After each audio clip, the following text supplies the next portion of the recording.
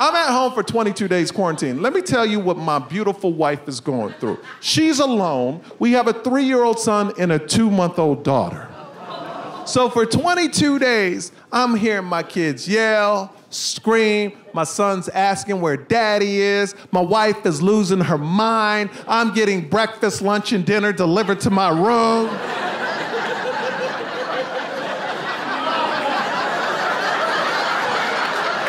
I'm like, damn, COVID ain't that bad. I feel like a husband in the 50s, you know what I mean?